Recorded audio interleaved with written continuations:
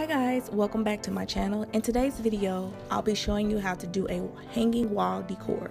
Now the items that you will need is a bottle of any color of any sort, wood pine, maybe a 1x6, scrap wood, chalk paint or regular paint, sandpaper, a drill, a paintbrush, and also either an old broom clip or plumber straps that you can use.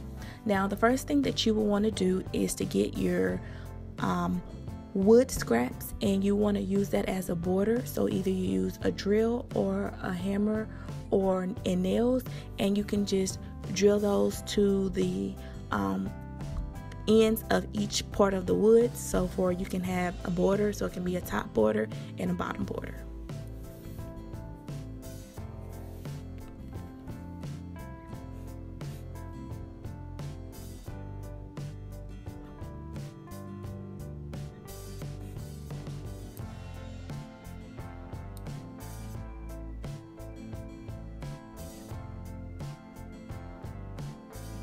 Now once you're done drilling and getting your borders on, you want to make sure you get a sandpaper or, or a sand sponge and you can just um, make sure you sand the edges so it can get more of a smooth finish. Um, you want to do the bottoms, the tops, and the edges as well.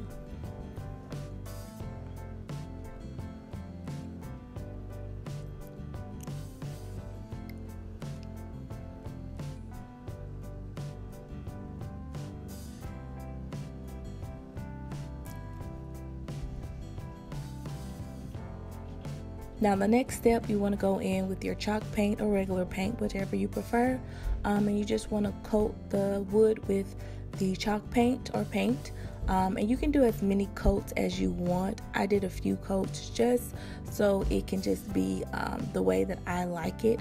And you can also putty the little cracks inside on the wood but me personally I like that look. I like for it to be rustic um, worn look. Um, I like the farmhouse vibe of everything.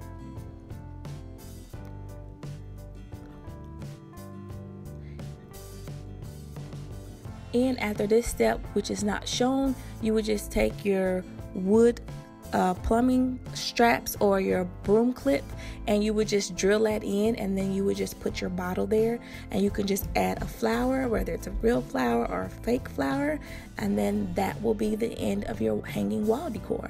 So thank you guys so much for watching. I hope this video was helpful. Let me know in the comments below if you liked it and please give this video a thumbs up and subscribe if you haven't done so and i'll see you all in my next video. Bye